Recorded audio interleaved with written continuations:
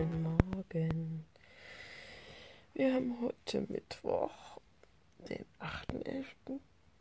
Und wir waren jetzt Viertel vor sieben. Ich muss aufstehen. Unsere Nacht war eigentlich ganz gut, auch wenn ich äh, total müde bin. Aber äh, Dominik ist wieder irgendwann hochgekommen. Er liegt da noch. Und äh, Hannah hat aber die Nacht super gut geschlafen. Bin gerade eben, als der Wecker ging, kurz vor halb sieben, erstmal runtergestürmt, weil ich mir Sorgen gemacht habe. Oh Gott, die hat sich gar nicht gemeldet und die dreht sich im Moment wieder so viel auf dem Bauch und ich habe mir halt natürlich das Schlimmste ausgemalt. Die liegt irgendwo im Kopf voll im, in der Matratze oder so und aber war alles gut. Ja, mir tut heute wieder einiges weh.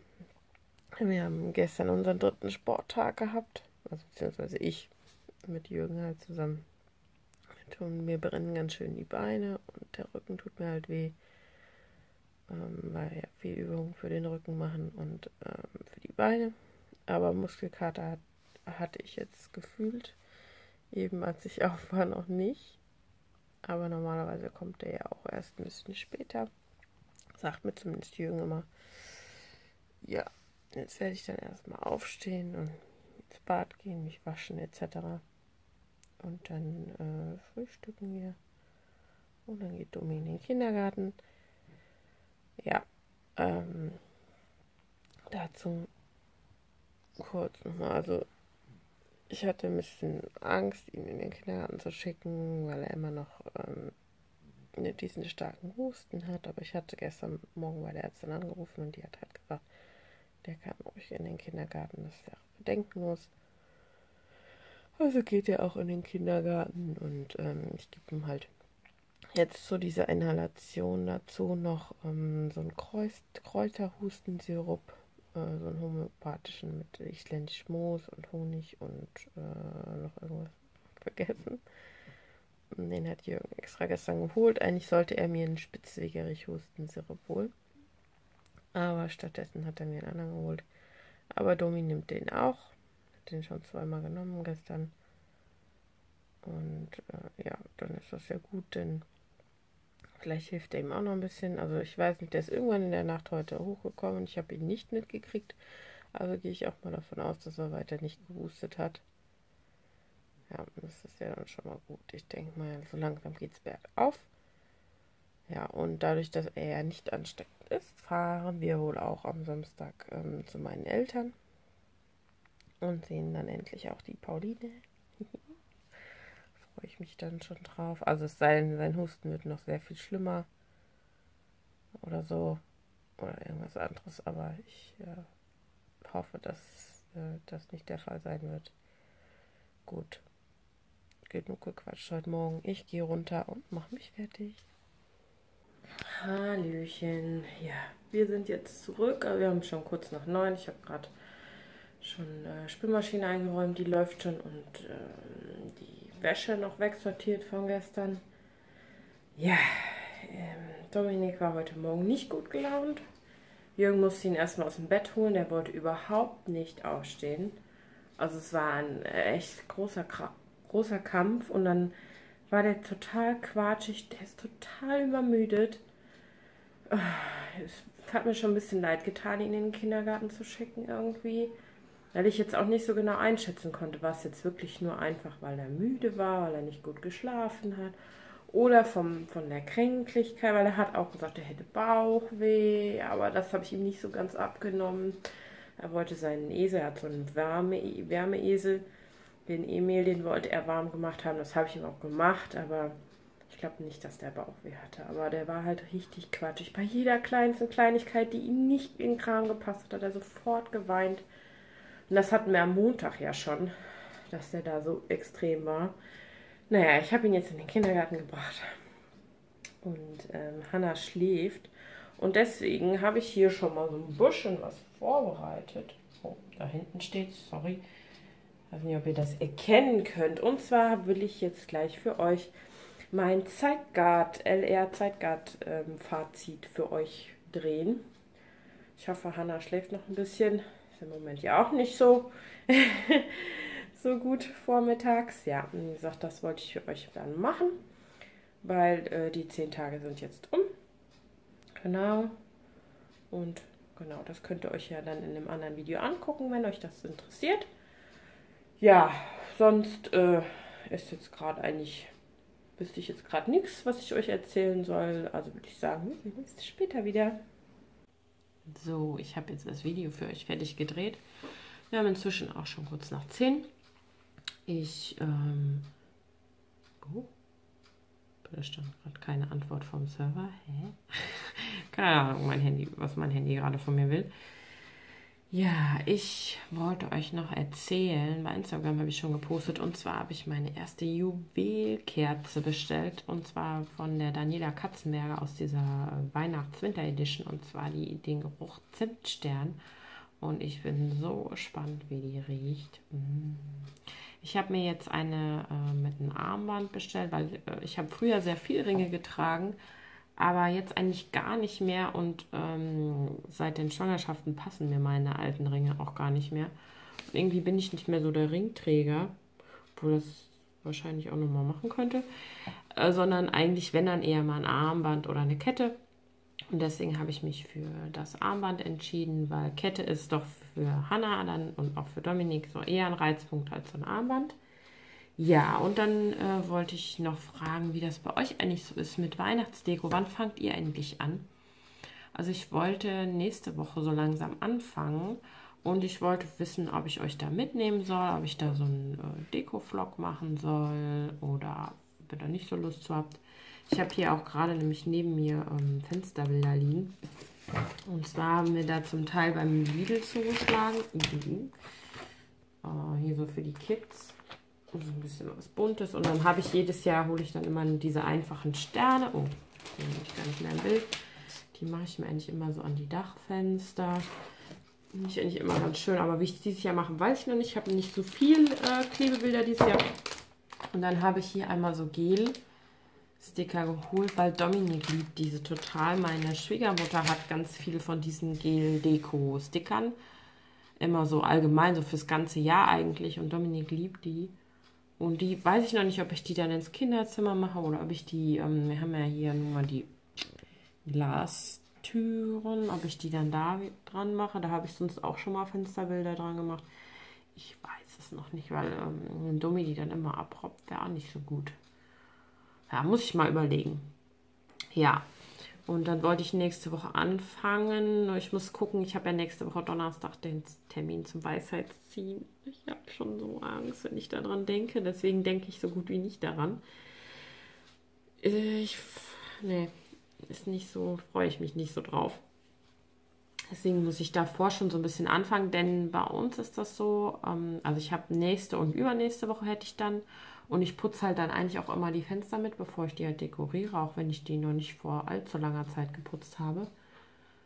Ähm, genau. Und dann putze ich die und dekoriere die dann.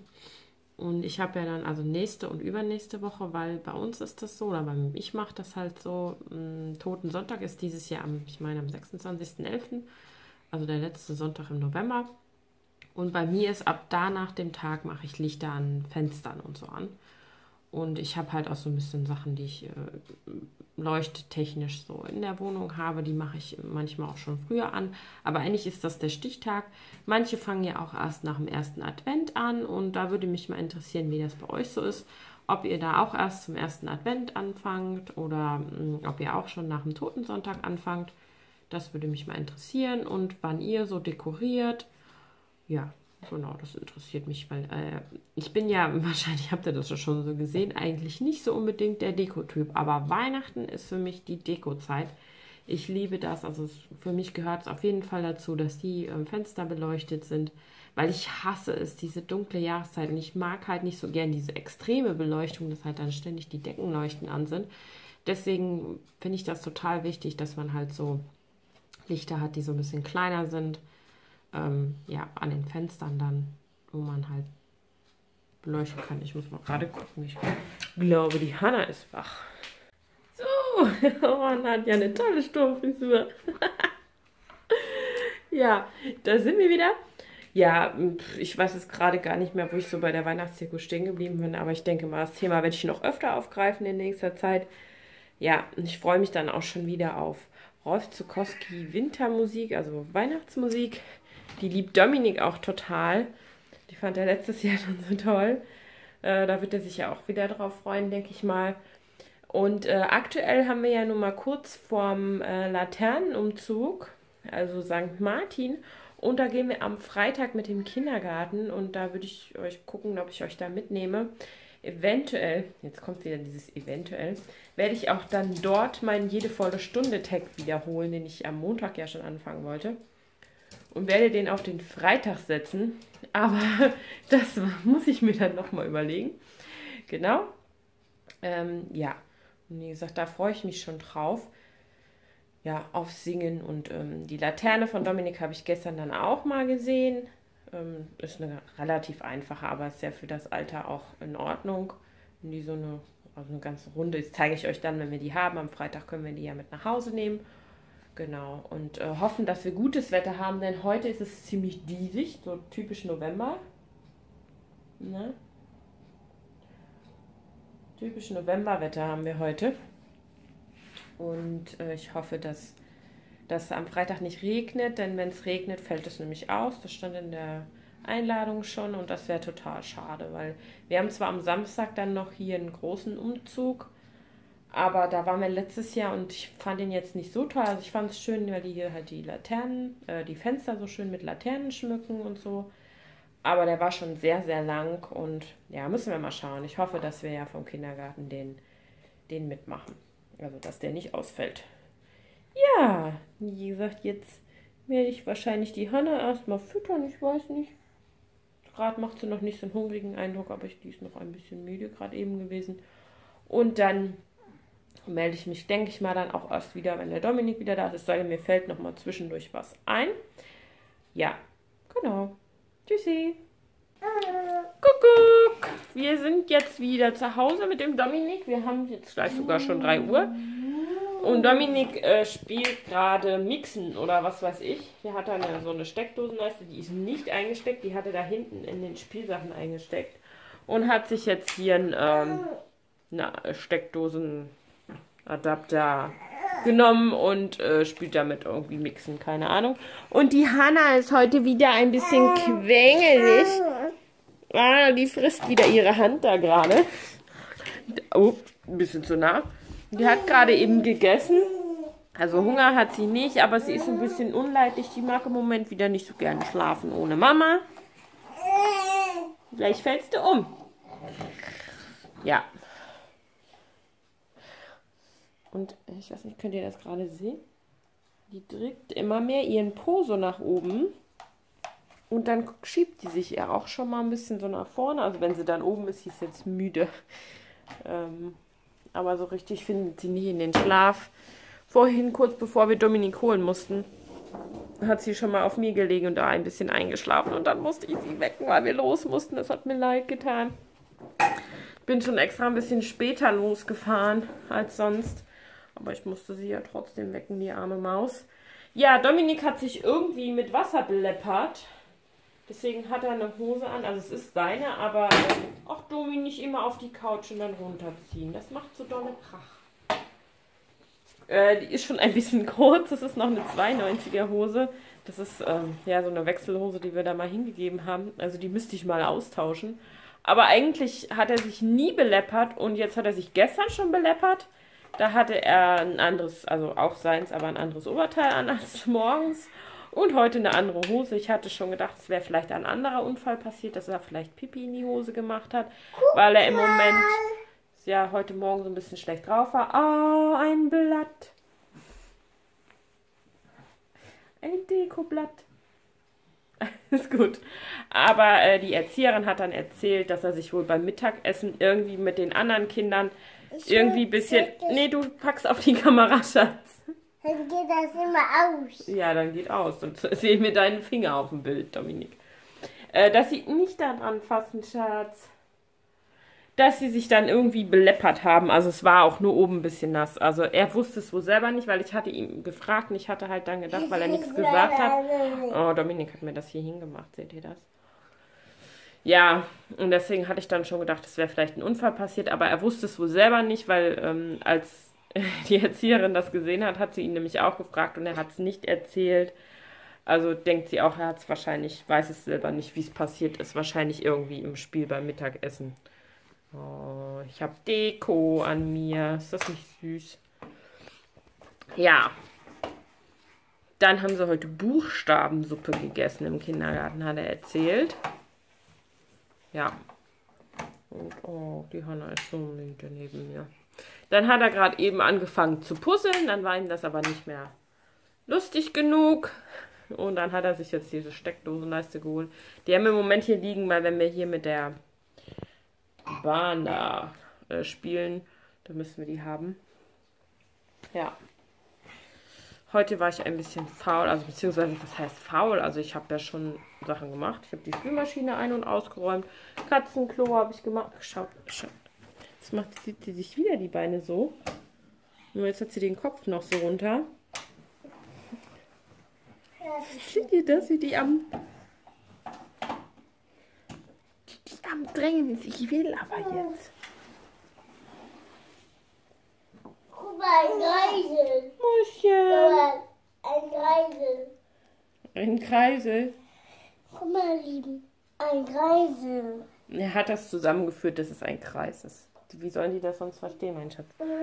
Ja, jetzt hat sie den Po wieder so hoch gemacht. Ich weiß nicht so ganz, was sie versucht. Das sieht fast aus, als wenn sie einen Purzelbaum machen will oder so. Also sie probiert sich im Moment ganz... Oh, das war das Köpfchen. Oh. Sie probiert sich gerade im Moment extrem aus. Sie dreht sich halt jetzt ähm, auch über die rechte Seite auf dem Bauch. Das hat sie ja bis gestern immer nur über die linke Seite. Ja, und jetzt klappt das über die rechte Seite super gut. Und jetzt ist sie echt am... Es ist echt Wahnsinn. Ich bedenke, dass sie erst fünf Monate alt ist. Wenn sie so da liegt und sich so bewegt, dann denke ich manchmal, sie müsste schon mindestens neun, zehn Monate alt sein, wenn nicht sogar älter. So vom, vom Empfinden her, weil bei Dominik war das halt alles viel später. Ja, ich weiß das gar nicht. Achso, ich war am Erzählen, dass ich faul war, ja. Ähm, ich habe aber Videos für euch gedreht. Das Zeitguard-Video habe ich euch ja erzählt, das Fazit-Video. Und ich habe aber noch noch andere Videos gemacht, weil wenn ich einmal dran bin mit Quatschvideos und die Hanna so gut schläft, dann kann ich auch gleich weitermachen. Oh, ich muss sie mal gerade zu mir nehmen. So, ich muss sie jetzt gleich mal versuchen ins Bett zu legen. Die ist total müde. Und wenn das nicht klappt, muss ich ein bisschen mit ihr auf die Couch. Dominik, nicht bitte in die andere Steckdose stecken, wohl? Dominik? Nicht in die weiße da hinten, bitte. Aber da ist dann Strom drauf, deswegen möchte ich das nicht. So, ihr merkt ja, die Kinder wird gerade ein bisschen quengelig. Ich melde mich später wieder. Kennt ihr das, wenn Kinder überhaupt nicht hören? Dominik ist gerade das beste Beispiel. Hannah quatscht hier rum und ich krieg die kaum gebändigt und Dominik hört nicht, wenn ich sage, du sollst aufhören damit, Dominik. Nein. Und er tut es trotzdem, seht ihr das? Ich bin gerade echt wieder ziemlich sauer. Aber so sind Kinder und so ist das Leben mit Kindern. Dominik, jetzt ist gut. Einmal noch und dann ist vorbei, bitte. Jetzt, ich bin leider dunkel, aber Jetzt ist das Geheule groß, weil ich Dominik jetzt in sein Zimmer gebracht habe. Ich weiß nicht, ob man es hören kann. Im Moment bringt er mich wieder richtig zur Weißglut. Es ist, der hat so einen dollen Husten, dass ich ihn eigentlich drücken könnte und die ganze Zeit kuscheln könnte, weil er mir so leid tut. Und auf der anderen Seite fängt er dann wieder mit solchen Sachen an, wo ich mir dann denke, Kind, bitte. Hannah schreit und die ist total müde und ich versuche gerade sie zum Schlafen zu kriegen. Und der Kleine macht dann nur Unsinn. Ich, ja. Es werden wahrscheinlich viele Mütter von euch können. Ihr könnt mir ja mal in die Kommentare schreiben, was ihr dann so macht mit euren Kindern. Wie gesagt, bei uns kommt Dominik in sein Zimmer. Er hasst es wie die Pest, wenn er äh, in sein Zimmer muss und die Türe zugemacht wird. Das ist für den echt das Schlimmste. Ja, jetzt kann ich wieder neu anfangen. Hanna versuchen zum Schlafen zu bringen. Mal gucken, ob es klappt. So, die Wogen haben sich jetzt wieder geglättet. Dominik ist auch wieder da. Er ist jetzt auch wieder lieb. Er spielt mit seinem Hubschrauber. Ich bin immer noch etwas dunkel, weil Hannah schläft noch auf mir. Ganz, ganz wild träumt sie gerade. Ähm, ich wollte euch gerade noch. Ich versuche euch mal so ein bisschen zu drehen, dass ihr mich vielleicht ein bisschen besser seht. Naja, auch nicht viel besser. Ich habe gerade die Bestätigung gekriegt von der Post, dass morgen meine Juwelkerze kommt, meine erste. Ich freue mich ja so drauf. Ähm, ich werde euch die Kerze auf jeden Fall zeigen freue mich total drauf. Und äh, werde auch auf Instagram darüber posten. Könnt ihr ja schauen. Wer mir noch nicht folgt, ähm, ich heiße dort ebenfalls Kati at Home, nur das Ad halt ausgeschrieben und mit Unterstrichen zwischen den Namen und hinten dran noch JT. Oh, habt ihr das gerade gehört? Mutti Hanna träumt ganz doll. Ja, gut. Das wollte ich euch noch eben sagen und dann sehen wir uns später wieder. Tschüss.